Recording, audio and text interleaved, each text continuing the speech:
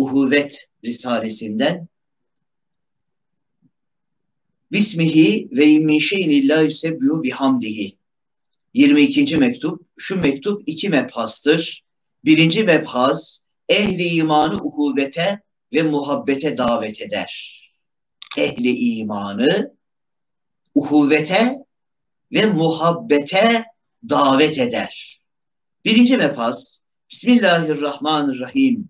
İnnemel müminune ihvetun fe aslihu beyne ahaveyküm idfa billeti hiye ahsenu fe izellezî beyneke ve beynehu adavetun keennehu veliyyun hamim vel kâzimînel gayza vel afîn anin nas vallahu yuhibbul muhsinin.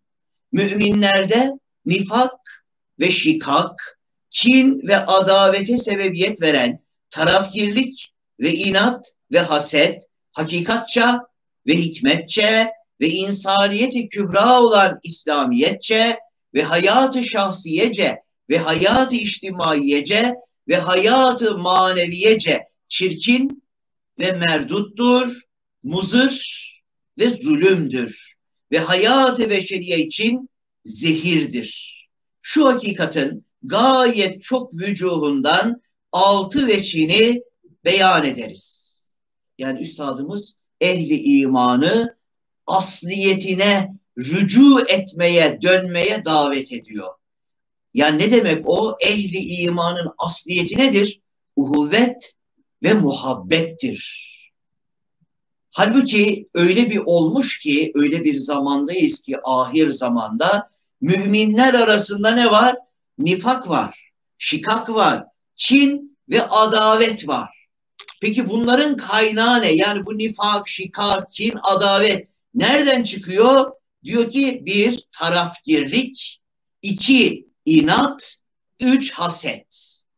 Bu üç şeyden bu dört mana yani o bozgunculuk, kavga, gürültü, bölünmeler, ayrılmalar, birbirine kin duymalar, düşmanlık duymalar hep bunlar nereden kaynaklanıyor? Bir, tarafgirlik, iki, inat, üç, haset.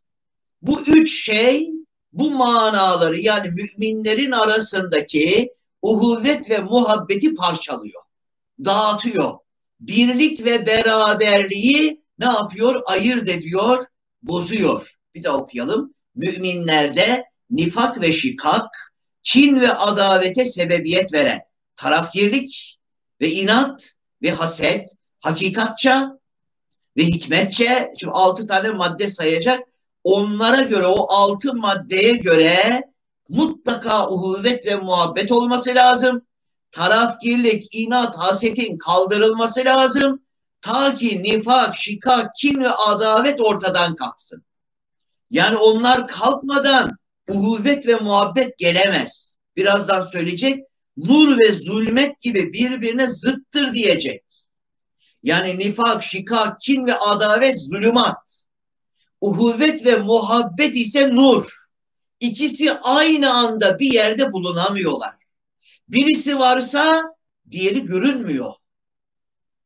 Onun için bu üç madde kalkması lazım ki o aradaki bozgunculuk manası, parçalanma, bölünme manası, düşmanlık, kin manası ortadan kalksın. Onun için altı tane madde var. O altı madde uhuvveti ve muhabbeti iktiza ediyor. Nifak, şikak, kin ve adaveti reddediyor. Neymiş onlar? Bir, hakikat, hakikatça. İki, hikmetçe. Üç, insaniyeti kübra olan İslamiyetçe. Dört, hayatı şahsiyece. Beş, hayatı içtimaiyece. Altı, hayatı maneviyece. Çirkin ve merduttur. Tarafkirlik, inat ve haset ve onlardan çıkan kin, ne demişti? Nifak, şikak, kin ve adavet bu altı maddeye göre çirkin ve merduttur. Reddedilmiş, atılmış, muzır, zararlı ve zulümdür ve hayatı beşeriye için, toplum hayatı, insan hayatı için, insanların hayatı için zehirdir. Şu hakikatin gayet çok vücuhundan altı veçini beyan ederiz. Birinci veci hakikat nazarında zulümdür. Zaten birinci sırada hakikatçe demişti. Bunlar muzırdır, zulümdür, zehirdir, e, kötüdür, çirkindir, merduttur diye saydı. Şimdi izahını yapıyor o altı maddenin. Birinci veci hakikat nazarında zulümdür. Ey mümine kin ve adavet besleyen insafsız adam. Nasıl ki sen bir gemide veya bir hanede bulunsan senin ile beraber dokuz masum ile bir cani var. O gemiyi gark ve o haneyi ihrak etmeye çalışan bir adamın ne derece zulmettiğini bilirsin. Ve zalimliğini semavata işittirecek derecede bağıracaksın. Hatta bir tek masum dokuz cani olsa yine o gemi hiçbir kanunu adalette batırılmaz. Bir daha okuyalım. Önce giriş kısmı. Ey mümine kin ve adavet besleyen dikkat insafsız adam. Niye insafsız diyor? Hakikatça insafsız oluyor. Ne demek o? Nasıl ki sen bir gemide, şimdi bir temsil, bir misal verecek ki nefsimiz dahi kabul etsin onu yani. Nasıl ki sen bir gemide veya bir hanede, bir evde bulunsan, seninle beraber dokuz tane masum ile bir tane cani var. Aynı gemide veya aynı evde. Dokuz tane masum, bir tane de cani, katil, hain bir adam var çok fenalıklar, kötülükler işlemiş bir adam var. O gemiyi gark, o gemiyi batırmak veya o haneyi ikrak, o evi ya yakmak. Yakmaya çalışan bir adamın ne derece zulmettiğini bilirsin. Neden? Çünkü içeride dokuz tane masum var. Sen bir caniye ceza vermek için, bir caniyi imha etmek için dokuz tane masumu katledersen, boğarsan, yakarsan bu nedir? Dehşetli bir zulüm olmaz mı? Elbette olur. Ne diyor? O gemiyi gark ve o haneyi ihrak etmeye çalışan bir adamın ne derece zulmettiğini bilirsin. Dikkat! Zalimliğini semavata işittirecek derecede yani sadece dünyaya değil yani bütün yerlere göklere işittirecek derecede bağıracaksın. Neden? Dokuz tane masum zayi oluyor. Hatta, şimdi tam tersini söyleyecek. Hatta bir tek masum dokuz tane cani olsa, dokuz cani olsa yine o gemi hiçbir kanunu adaletle, hiçbir adalet kanunuyla batırılmaz. Evet dokuz tane cani var ama e, bir tane masum var. Yani o dokuz caniye ceza vereceksen o bir tane masum oradan çıkarmak zorundasın yani. O masum orada bulundukça hiçbir adalet kanunu onların imhasına müsaade edemez. Niye anlattı bunu? Aynen öyle de. Şimdi hakikate tatbik edecek. Mümine kin ve adavet besleyen insafsız adam demişti ya. Aynen öyle de. Sen bir hane-i Rabbaniye ve bir sefine-i ilahi olan bir müminin vücudunda iman ve İslamiyet ve komşuluk gibi dokuz değil belki yirmi sıfatı masume varken sana muzur olan ve hoşuna gitmeyen bir cani sıfatı yüzünden ona kin ve adavet bağlamakla maneyi manevi vücudun manen gark ve ihrakına, tahrip ve batmasına teşebbüs veya arzu etmen onun gibi şeni' ve gaddar bir zulümdür. Neymiş? Sen bir hane-i Rabbaniye. Demek her bir mümin nedir? Hane-i Rabbaniye. Cenab-ı Hakk'ın Rab ismiyle, rububiyet şuunatıyla terbiye edilmiş bir hane, her bir mümin Rabbani bir ev. Başka ne dedi? Bir sefine-i ilahiye adeta Cenab-ı Hakk'ın imal ettiği, icat ettiği, var ettiği, yarattığı bir gemi her bir mümin.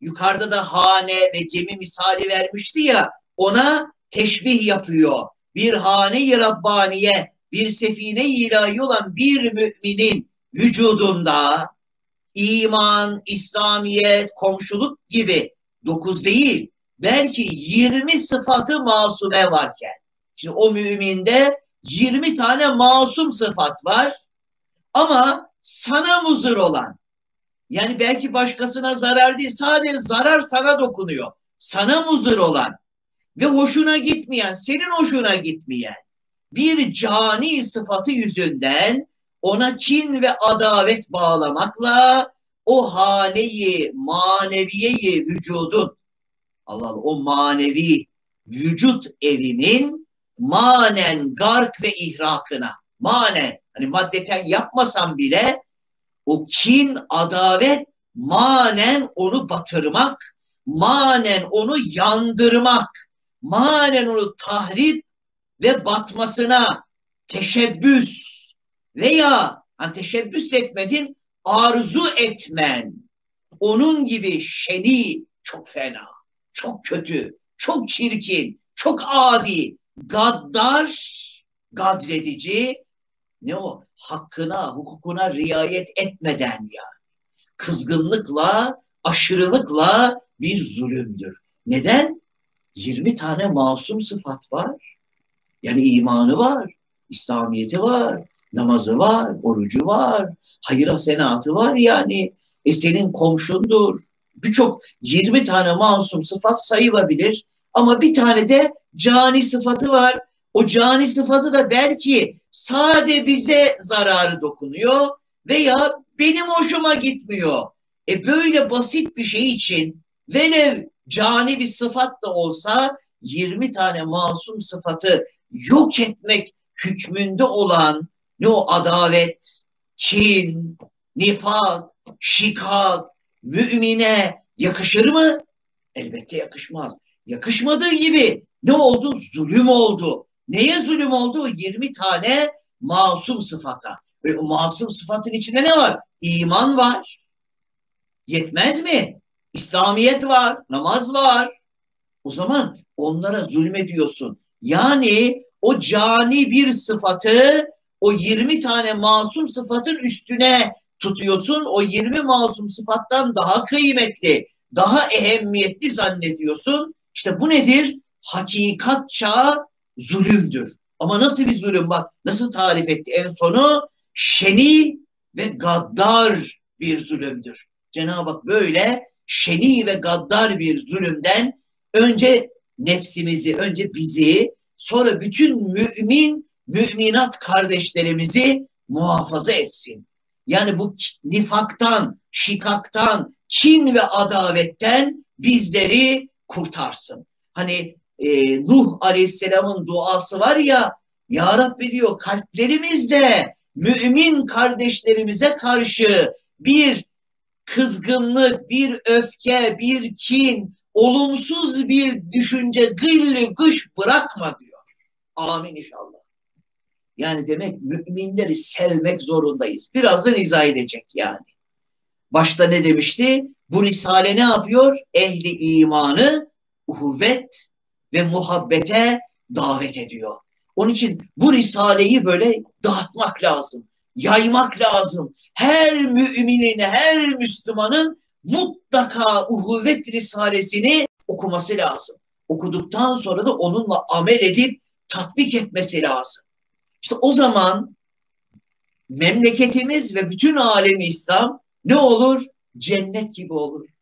Çünkü kardeşlik, muhabbet cennettir yani.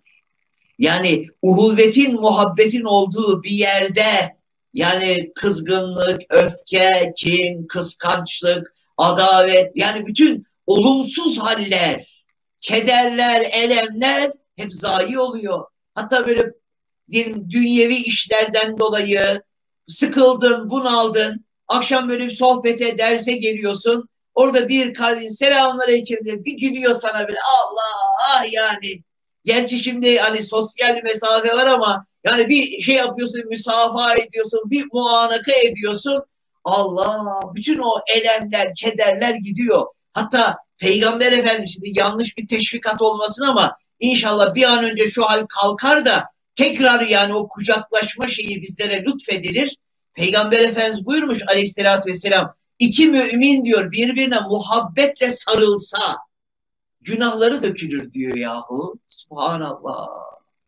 Evet onun için hakikat nazarında adavet, kin nedir? Zulümdür. Hem de şeni ve gaddar bir zulümdür. İkinci veci hem hikmet nazarında dahi zulümdür. Demek hikmet nazarıyla, hikmet gözüyle bakılınca da kin, adavet nedir? O da zulümdür. Ne demek o? Şimdi izahını yapıyor. Hikmet nazarında nasıl zulüm olur? Zira malumdur ki adavet ve muhabbet, nur ve zulmet gibi zıttırlar. Demek adavet, kin, düşmanlık duygusuyla muhabbet, sevgi duygusu birbirine zıt iki duygu. Yani biri eksi, öbürü artı. Biri negatif, öbürü pozitif. Biri şer, biri hayır. Neye benzetti Bediüzzaman Hazretleri? Bu zulmet, adavet, zulmet, muhabbette nur. Nur ve zulmet gibi zıttırlar. İkisi manayı hakikisinde, hakiki manasında olarak beraber cem olamazlar. Bir arada beraber bulunamazlar. Eğer muhabbet kendi esbabının rüçhaliyetine göre bir kalpte hakiki bulunsa, bu tabirler çok mühim. Muhabbet ne dedi? Kendi esbabının rüçhaniyetine göre. Demek muhabbetin üstünlük sebepleri varmış. Muhabbetin üstünlük sebeplerine göre bir kalpte muhabbet hakiki bulunsa o vakit adavet mecazi olur. Yani ikinci, üçüncü, dördüncü dereceye girer gizlenir. O nurun altında gizlenir, tesiri, ehemmiyeti azalır. Acımak suretine inkılap eder. Allah Allah. Demek o muhabbet kalpte hakim olunca muhabbet sebeplerinin galibiyeti üstünlükleriyle beraber muhabbet kalpte hakim olursa o zaman adavet ne oluyormuş? Acımak suretine dönüyormuş. Allah ne güzel oldu değil mi? Düşmanlık duygusu, acımak, şefkat etmek, merhamet etmek vaziyetine geldi. Evet, niçin söyledi bunu? Mümin kardeşini sever ve sevmeli. Bak sevmekle alakalı iki tane şey kullandı. Biri dedi sever geniş zamanla yani normal şartlarda mümin mümini sever. Normal şartlarda böyledir. Ama arada ne oldu onun sana bir zararı dokundu veya hoşuna gitmeyen bir davranışta, harekette, sözde, fiilde bulundu. İşte o zaman adalet gelmeye kalkınca ikinci madde giriyor devreye. Sevmeli. Şimdi sevmelide ne var? Mecburiyet var. Sevmelide mahkumiyet var. Yani mümini sevmeye mecbursun. Mecburuz. Mahkumuz. Niye? Çünkü Allah bizi müminlerle kardeş yaptı. İnnemel müminune ihvetün diyor. Ancak yalnız sadece müminler kardeştir diyor. Yani Allah öyle geniş bir daireyi tutmuş ki mesela dese ki yani innemel musalline ihvetün namaz kılanlar kardeştir dese daire daralacak. Sadece namaz kılanlarla kardeşiz. Diğerleri kardeş olamayız o zaman. Dese ki innemel müttakine ihvetün takva sahipleri kardeştir ancak dese daha da daralacak daire.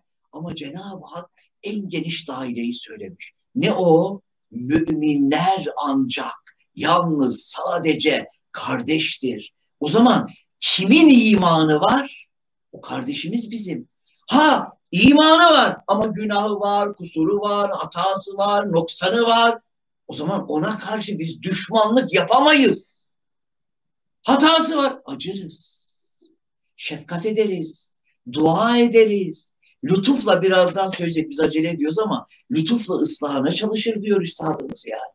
Onun için bunu hiç unutmayacağız. Bir, mümin kardeşini sever. İki, sevmeli. Mecburuz. Onun için nefsimiz kızıyor. Nefsimiz kızabilir. Şeytan bizi teşvik edebilir. Ama Allah bizi kardeş yapmış. Allah'ın hükmü kat'idir. En zirvede odur. Onun yanında hiçbir hükmün kıymeti yoktur. Nefis ne diyor? Kızıyor mu? Kızarsan kız yani. O benim kardeşim ya.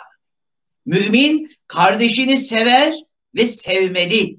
Fakat fenalığı için yalnız acır. Neden? Mümine karşı muhabbet kalpte hakim.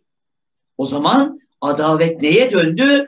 Acımak suretine döndü. E müminde fena bir hal göründü. O zaman ne Fenalığı için yalnız acır. Peki ne yapacak? Tahakkümle, baskıyla, zorlamayla, hakaretle, vurarak, kırarak, döverek, tenkit ederek, bilahir yani tahakkümle, zorbalıkla, zorlayarak değil, belki lütufla ıslahına çalışır. Lütufla. Allah Allah. Islahına çalışır.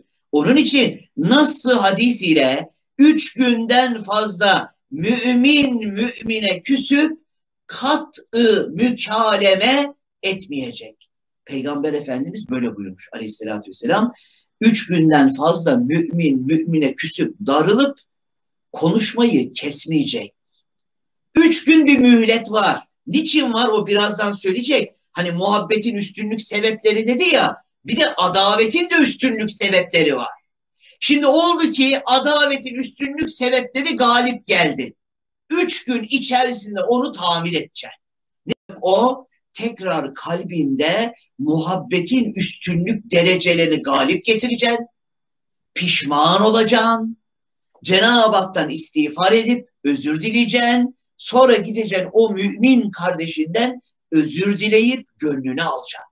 Peygamber Efendimiz buyurmuş aleyhissalatü vesselam iki tane darılmış, küsmüş müminden ilk önce kim diyor barışmak için adım atar, yanına gider, selam verir, özür dilerse o ona cennet vacip olur diyor. Hatta öyle anlatılır. Ne kadar doğrudur bilmiyorum da çocukluğumda böyle bir kıssa dinlemiştim. Biliyorsunuz peygamberimizin torunlarından Hazreti Hasan, Hazreti Hüseyin radıyallahu anhüma onlar böyle aralarında bir mesele olmuş. Bir hafif bir dargınlık olmuş. Hazreti Hüseyin küçük ya mektup yazmış abisine. A, böyle uzun şeyden e, giriş kısmından sonra abicim ben demiş e, babam Hazreti Ali'den o da dedemiz ceddi emcedimiz Hazreti Muhammed Aleyhisselatü Vesselam'dan işitmiş bize nakletti ki iki küsten dargından ilk kim barışırsa, kim oraya gider, kim adım atar, e, kim özür dilerse ona cennet vacip olur. Ben demiş ben gelirim fakat ben arzu ediyorum sen benim abimsin sana cennet vacip olsun lütfen demiş. Hazreti Hasan gelmiş bir sarılmışlar böyle bütün o şeyler zayi olmuş yani. Evet onun için üç günden fazla üç günden sonra adavet, küslük devam ediyorsa hadiste var. O mümini öldürmüş gibi günah yazılır diyor. Onun için üç gün içerisinde toparlayacağız kendimizi. Neyi toparlayacağız? Okuyalım. Eğer esbabı adavet galebe çalıp kalpte düşmanlık sebepleri, kin, nefret sebepleri galip gelip adavet hakikatiyle bir kalpte bulunsa o vakit muhabbet mecazi olur. ikinci, üçüncü, beşinci dereceye düşer, mahiyetini kaybeder, ne suretine gelir? Tasannu, yapmacık, temellük suretine, zillet suretine girer. Ha, mümine karşı kalbimiz asıl olan muhabbet, adavet mecazi. Kafire karşı kalbimizde küfür sıfatından, kafirin zatına, şahsına, cesedine, bedenine değil, onun küfür sıfatına karşı kalbimizde adavet hakim ama o da mecazi onunla teşrik-i mesai mudara demiş Peygamber Efendimiz idare sanatı. Yani belli şartlar içerisinde dostluk var ama kalpte onun küfür sıfatına karşı ne var? Adavet var. Ama mümine karşı adavet olamaz. Oldu üç gün içerisinde adavetin sebeplerine, muhabbetin üstünlük sebeplerini galip getirecek. Nasıl getirecek? İşte böyle. Ey işte ey insafsız adam. Şimdi bak ki mümin kardeşine kin ve adavet ne kadar zulümdür. Çünkü nasıl ki sen bir küçük taşları Kabe'den daha ehemmiyetli ve Cebel-i Uhud'dan daha büyük desen çirkin bir akılsızlık edersin. Subhanallah bak. Yani o müminin kusurları, kabahatleri çakıl taşı hükmünde. Halbuki o müminin imanı Kabe hürmetinde. Onun İslamiyeti Uhud dağı azametinde. Hangi akılsız adam diyebilir ki yani? Veya hangi akıllı adam diyebilir ki yani çakıl taşı Kabe'den daha mübarek, çakıl taşı Uhud dağından daha büyük diyebilir mi yani? Birazcık aklı varsa diyemeyecek. Allah O zaman ne yapacağız? Bak muhabbetin üstünlük sebeplerini getirdi. Kusur kabahat çakıl taşı ama imanı İslamiyeti Uhud dağı azametinde, Kabe hürmetinde. Aynen öyle de Kabe hürmetinde olan iman ve Cebel-i Uhud azametinde olan İslamiyet gibi çok evsaf-ı İslamiye, İslamiyete ait çok vasıflar, sıfatlar, güzel haller, muhabbeti ve ittifakı, muhabbeti ve ittifakı, birlik ve beraberliği istediği halde mümine karşı adavete sebebiyet veren ve adi taşlar hükmünde olan bazı kusuratı dikkat, bazı kusuratı iman ve İslamiyete tercih etmek. İşte onun için büyük zulüm oluyor. Onun için onu öldürmüş gibi, katletmiş gibi günah yazılıyor. Neden? Sen o cüz'i, çakıl taşı gibi olan o adavet sebebini neyin üstüne getiriyorsun? İmanın ve İslamiyet'in üstüne çıkarıyorsun. Onlardan daha kıymetli, daha ehemmiyetli görüyorsun ki mümine adavet ve düşmanlık ediyorsun. Subhanallah. Adi taşlar hükmünde olan bazı kusuratı iman ve İslamiyet'e tercih etmek ne derece insafsızlık ve akılsızlık ve pek büyük bir zulüm olduğunu aklın varsa bir parçacık aklın varsa anlarsın. Cenab-ı Hak aklımızı başımıza getirsin inşallah. Ta ki müminlere karşı kin, nefret, adavet değil, müminlere karşı uhuvvetle, muhabbetle davranmak, kalbimizde müminlere karşı kim olursa olsun, bütün müminlere karşı kalbimizde muhabbet asıl olacak. Uhuvvet asıl olacak. Ama kusurları var. Hangimizin yok ki? Biz nasıl ümit varız Rabbimiz bizi affedecek. Allah'ım affeyle. Estağfirullah. Vahfanna. Vahfirlena. Verhamna. Nasıl diyoruz? Ve ümit ediyoruz ki Rabbimiz bizi affedecek inşallah. E seni affediyor diye niye onu affetmesin ki yani? E sen Rabbine karşı kusur işlemişsin. Onun affını ümit ediyorsun. Özür diliyorsun. E şimdi o mümin de sana karşı bir kusur işledi. Sana karşı bir yanlış yaptı, hata yaptı. E sen Rabbine karşı yapınca ne o affını ümit ediyorsun. E, affetsin diye bekliyorsun. O zaman sen de o mümini ne yap? Affet. Çünkü eğer biz o mümini affedersek Allah da bizi affeder. Çünkü biz mümin kardeşimizi affettiğimizde o af adeta bizim aynamızda Cenab-ı Hakk'ın afü ismi, affedici ismi tecelli ediyor.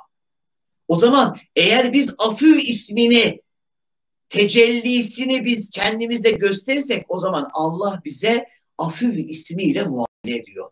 Kulum beni nasıl tanırsa ben ona öyle muamele ederim diyor. Sen Allah'ı afü bilirsen, başkalarını da affedersen Allah da seni affeder. Sen bir mümin kardeşinin hatasını, kusurunu, ayıbını örtersen Allah da senin ayıbını, kusurunu örter. Sen bir mümin kardeşin ihtiyacı var, yardım edersen sen de dara düştüğünde dünyada ahirette Allah sana yardım eder, ihtiyacını görür. Evet. Evet tevhidi imani yine çok antika, çok harika. Böyle iyi, icazlı ve i'cazlı bir cümle geldi. Evet tevhidi imani elbette tevhidi kulubu ister. Allah Allah. Yani tevhidde birlik, imanda birlik ve beraberlik, kalplerin de birlik ve beraberliğini ister. E madem hepimiz aynı şeylere inanıyoruz, bak imanda birliğimiz var. Allah'ımız bir birazdan sayacak. Allah'ımız bir, peygamberimiz bir, Kur'an'ımız bir. Bak bu kadar birbirler diyor yani. E şimdi imanda birlik, o zaman kalplerin de birlik ve beraberliğini ne yapıyor? İhtiza ediyor. Devam ediyor. Vahdeti itikat dahi, itikatta, inançta, akidede birlik dahi vahdeti içtimaiyeyi, o toplum hayatındaki birlik ve beraberliği iktiza eder. Demek tevhidi imani, tevhidi kulubu ister, vahdeti itikat dahi vahdeti içtimaiyeyi iktiza eder. Evet inkar edemezsin ki sen bir adamla beraber bir taburda bulunmakla o adama karşı dostane bir rabıta anlarsın. Yani askerlik yapanlar hep bunu yaşamış yani. Yani bazen olur hani diyelim aynı mangadasın, aynı bölüktesin. Bazen olur ki aynı taburdasın. Hiç birbirinizi hiç görmemişsiniz yani. Ama nerede yaptın askerlik filan tabur? Aa ben de orada. Aa bir muhabbet başlıyor. Yani aynı taburda beraber askerlik yapmak bir muhabbeti sebep oluyor. Neden? Beraberlik sırrından. O adama karşı dostane bir rabıta anlarsın ve bir kumandanın emri altında beraber bulunduğunuzda arkadaşane bir alaka telakki edersin. Yine birlik beraberlik sırrı. Ve bir memlekette beraber bulunmakla uhuvvetkârane bir münasebet hissedersin. Yani toprağım diyor yani hemşo diyor, hemşerim diyor değil mi? Hele hele hani yabancı bir memlekette adam gitse Çin'e, Japonya'ya her taraf garman çorman yani. Birden birisiyle karşılaşıyor. O Türkiye'den Allah yani. Halbuki birbirini hiç tanımıyorlar yani. Birbirleri hiç alakaları yok yani. Ama orada aynı memleketten olmaktan dolayı birden bir muhabbet, bir ne olsun samimiyet başlıyor yani. Allah ne güzel tarif ediyor değil mi? Maşallah, maşallah. Bir memlekette beraber bulunmakla uhuvvetkârane bir münasebet hissedersin. Halbuki imanın verdiği nur ve şuur ile, imanın verdiği nur ve şuur ile, iman ne nuru veriyor? Her şeyi yaratan Allah. Her şeyin haliki, maliki Allah. E şimdi beni yarattı, o kızdığın mümini yaratan kim? Allah. Ona göz, kulak, el, ayak, hayat, akıl, ruh veren kim? Allah. Aa, bak iman nasıl? İmanla bütün karanlıklar zayi oluyor. İmanla şu kainattaki her şey kardeşimiz oluyor. Her şey bizim dostumuz oluyor. Her şey bizim arkadaşımız oluyor yani. Allah Allah. Onun için hakiki müminde kin, adalet, vahşet olamaz. Cenab-ı Hak bizleri hakiki mümin etsin inşallah. Aa, imanın verdiği nur ve şuur ile ve sana gösterdiği ve bildirdiği esma-i ilahiye adedince vahdet alakaları ve ittifak rabıtaları ve uhuvvet münasebetleri var. Bir daha okuyalım bak. İmanın verdiği nur ve şuur ve sana gösterdiği ve bildirdiği esma-i ilahiye. Cenab-ı Hakk'ın isimleri adedince üç tane madde saydı. Bir, vahdet alakaları, birlik alakaları, ittifak rabıtaları, uhuvvet, kardeşlik, münasebetleri, ilişkileri var. Ne demek o? Mesela her ikinizin halikiniz, yaratıcınız bir, malikiniz, sahibiniz, sultanınız bir, mabudunuz, ibadet ettiğiniz Zat-ı Zülcelal bir, razıkınız, rızık vereniniz, sizleri gıdalandıran bir, bir, bir, bine kadar bir, bir, bir. Yani bin bir esmayı ilahiye adedince ne var? Uhuvvet münasebetleri var. Bir, bir. Sonra hem peygamberiniz bir, elhamdülillah. Dininiz bir, evet. Kıbleniz bir, evet. Bir, bir, yüze kadar bir, bir. İslamiyet'in bütün esaslarıyla. Sonra köyünüz bir, devletiniz bir, memleketiniz bir, ona kadar bir bir. Hani dünyevi cihette de bu kadar bir birliklerimiz var. Bu kadar bir birler vahdet ve tevhidi, birlik sırrını, vifak ve ittifakı, beraberlik sırrını, birbiriyle adeta maddeten manen kucaklaşma sırrını, muhabbet, sevgi, sevmek ve uhuvveti, kardeşliği iktiza ettiği ve çok antika bir cümle söylüyor. Kainatı ve küreleri birbirine bağlayacak manevi zincirler bulundukları halde. Demek bu saydığı üç tane madde var diye vahdet alakaları, ittifak rabıtaları, uhuvvet münasebetleri bunlar o kadar kuvvetli ki ne diyor bak kainatı ve küreleri birbirine bağlayacak derecede kuvvetli bağ bunlar bu üçü. Böyle olduğu halde şikak ve nifaka bölünme, parçalanma, ayrılma, bozgunculuk çıkarma, kin ve adavete, düşmanlığa sebebiyet veren örümcek ağı gibi ehemmiyetsiz ve sebatsız şeyleri tercih edip mümine karşı hakiki adavet etmek ve kin bağlamak ne kadar o rabıtayı vahdete o yukarıda sayılan üç tane o birlik, beraberlik rabıtaları, münasebetleri, alakalarına karşı bir hürmetsizlik. Ve o esbabı muhabbete, o muhabbetin sebeplerine karşı bir istihfaf, onları hafife almak, küçük görmek ve o münasebat uhuvvete karşı, o kardeşlik münasebet alakalarına karşı bir zulüm ve itisaf olduğunu dikkat. Kalbin ölmemiş ise aklın sönmemiş ise anlarsın. Allah Allah. Demek ki hala adavet gösterirsek o zaman bak bu iki maddeye mazhar oluyoruz. Ne o? Kalbin ölmemiş ise diyor. Aklın sönmemiş ise Allah korusun.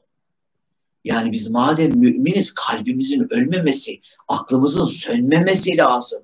O zaman iman, İslamiyet, komşuluk, namaz, hayır, hasenat gibi e, binlerce güzel vasıf var. Allah'ımız bir, peygamberimiz, dinimiz bir, bütün esma ilahi adınca birlik ve beraberlikler bu kainatı ve küreleri birbirine bağlayacak derecede sağlam bir ipken biz basit, cüz'i kusurları ön plana alıp imana, İslamiyete, bu bin bir birlik rabıtaların üstüne çıkarmak evet hakikaten ne kadar büyük bir zulüm olur, ne kadar büyük bir haksızlık olur, ne kadar büyük bir hakaret olur. Bunu mümin yapamaz.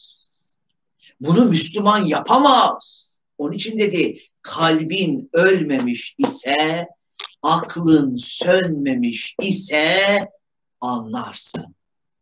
Cenab-ı önce bizim nefsimize sonra bütün mümin kardeşlerimize bu manaları anlayıp adavet sebeplerini terk edip muhabbetin rüçhaniyet sebeplerini galip getirip bütün müminlere karşı kalbimizde muhabbeti hakim kılıp bir kusur görürsek o kusurların affı için o mümin kardeşlerimizin o hatalardan, kusurlardan dönmeleri için Cenab-ı Hakk'a iltica edeceğiz, yalvaracağız. Aynı zamanda aynı hatalara da biz de düşmeyelim diye Cenab-ı Hakk'a sığınacağız yani. Cenab-ı Hak cümlemizi muvaffak etsin inşallah. Hakiki uhuvvet, muhabbete hem bizleri hem bütün mümin müminatı hususan memleketimizdeki insanları inşallah muhabbet ve uhuvveti tam yaşamayı ve yaşatmayı Rabbimiz lütfetsin, ihsan etsin. Amin. Velhamdülillahi Rabbil Alemin. El Fatiha.